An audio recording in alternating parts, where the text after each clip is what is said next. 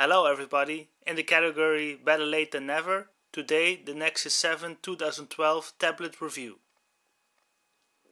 This was Google's attempt to penetrate the tablet market and it was priced very reasonable. It's a 7 inch tablet, which makes it very easy to carry around. This is to me the ideal tablet to read news on and to read PDF files on of course, you can also watch videos and do some gaming from time to time, but I mostly use it for reading articles, watching videos. Sometimes I also reply emails, but I'm not a big fan of the touchscreen. I'm not a big fan of touchscreens in general, only when it's a really good touchscreen. In that case, my preference goes to Apple, because Apple really knows how to make touchscreens. I have to say the materials that they use in this tablet are quite good. It holds easy in your hand. Most of the time you can use this tablet just using your one hand. When you need to do some typing, you put it in landscape mode, then uh, you can use two hands, no problem. It's also a very light tablet.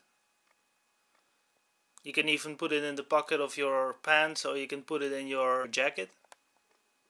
This tablet is also quite handy when you're on the road. It has quite a good GPS chip inside. I have used this tablet for more than three years as my main navigation device. As you can see it picks up fingerprints quite easy.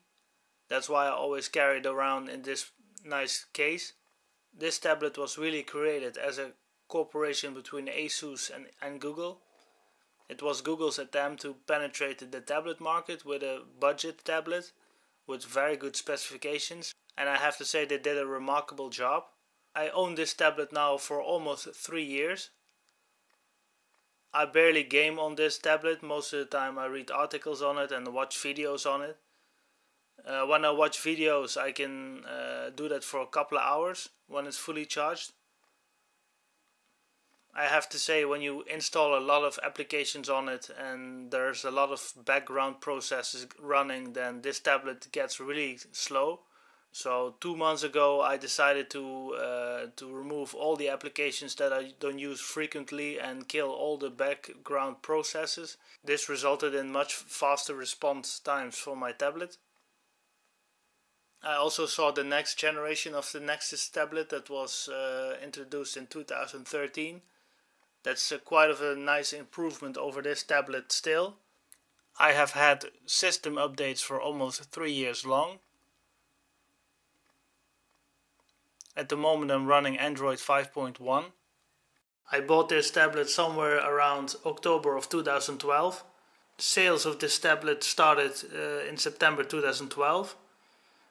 But um, I bought it actually in Germany because in Holland, where I live, uh, most of the tablets were not in stock anymore because so many people have bought them over 2012, uh, 4.6 million of these devices have been sold only in, in, in, the last couple of months of 2012 alone. So that shows you the popularity of this device.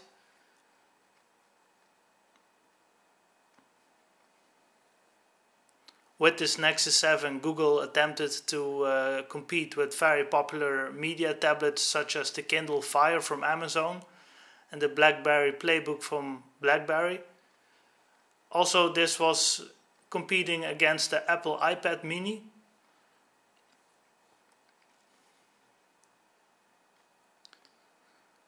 I think Google even sponsored um, buyers that wanted to buy this Nexus tablet because uh, the prices were around 200 to 250 euros here in Holland, which is very reasonable when you look at the spec level.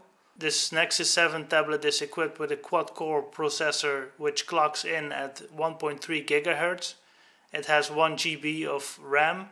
As far as storage goes, there were 8 GB, 16 GB and 32 GB models for sale. It has a 4325 mAh battery, which is comparable to the iPad.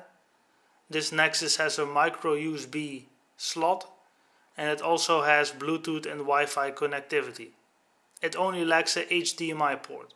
Also there's no possibility to extend the storage with an SD card. This Nexus 7 is part of the Nexus line of devices from Google. The benefit of this is that this device receives updates for the upcoming years. This Nexus 7 has a 7 inch screen as we talked about. It has 1280 by 800 pixels and the screen is scratch protected. The Nexus 7 also has one camera and it's placed on the front and it has a resolution of 1.2 megapixels which is not really great. It's good enough to function as a front screen camera when you have for instance a Skype conversation.